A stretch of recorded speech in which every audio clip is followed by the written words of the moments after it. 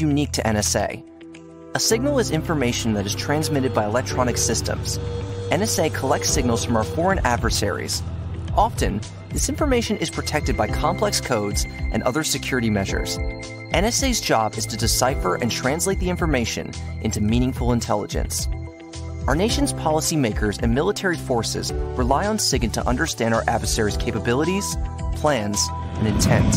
To ensure mission success, NSA needs dedicated code makers and code breakers who are looking for challenging work and a chance to do something meaningful. Visit intelligencecareers.gov forward slash NSA to learn more. Sorry if you guys uh, couldn't really see that if it was kind of smaller. It's just the way that uh, we downloaded it.